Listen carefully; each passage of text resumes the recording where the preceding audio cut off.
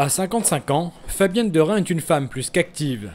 J'ai dû arriver vers 8h05 à peu près. Mais d'habitude, ouais, non, j'arrive plutôt vers 7h30. Cette chef d'entreprise originaire de Haute-Saône est arrivée dans la région dans les années 90. Sportive, nous l'avions même croisée il y a quelques mois à Angres lors d'une séance de CrossFit. Aujourd'hui, le sac de sport est encore là. Direction Arras, il est 9h.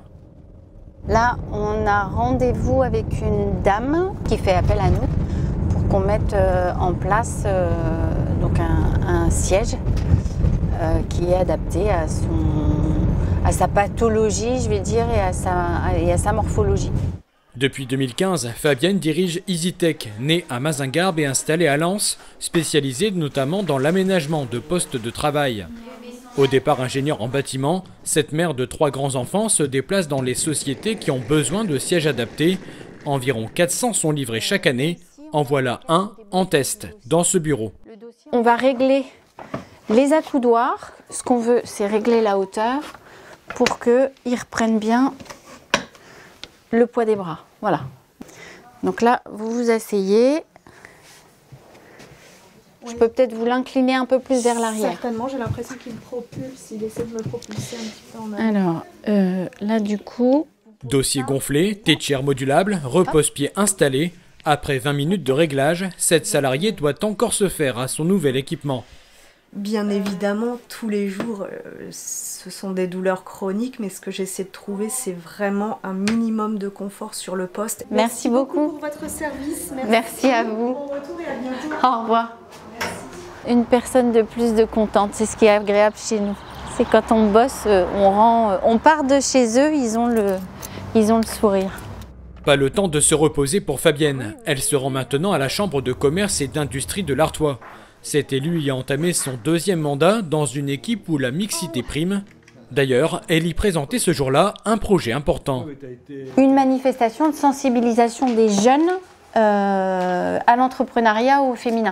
Aujourd'hui, deux tiers des créations euh, sont faites par euh, des hommes et seulement un tiers pour euh, les femmes, puisqu'on a besoin de femmes qui vont s'orienter vers l'entrepreneuriat et notamment la création.